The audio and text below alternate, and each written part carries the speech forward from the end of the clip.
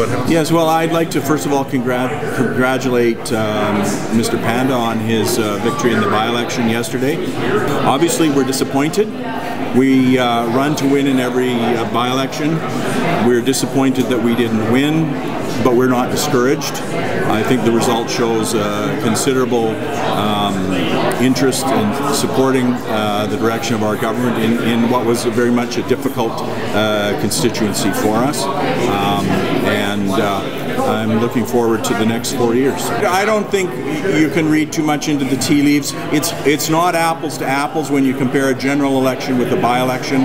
The dynamics, political dynamics in by-elections are always different uh, from general elections. So I don't think there's any general conclusions um, that I can draw. We're going to continue to be there for Calgary and for Calgarians um, and to uh, uh, place a high priority in the needs of, of Alberta's largest city. Uh, and uh, I think that that's uh, you know, that's a message I, I would like to leave with Calgarians, um, that um, this city is critical to the economic and cultural success of our province and the provincial government recognizes that and is going to support the city and its citizens uh, to the full extent that we're able.